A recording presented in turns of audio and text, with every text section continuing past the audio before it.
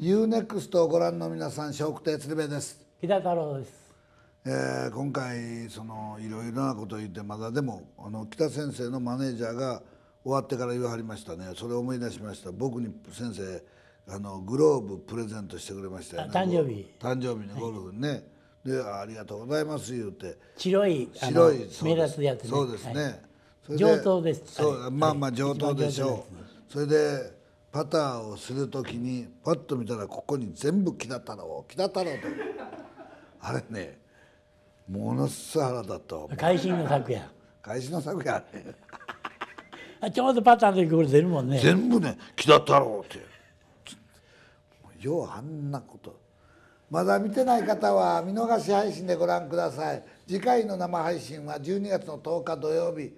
一体誰が来るか楽しみです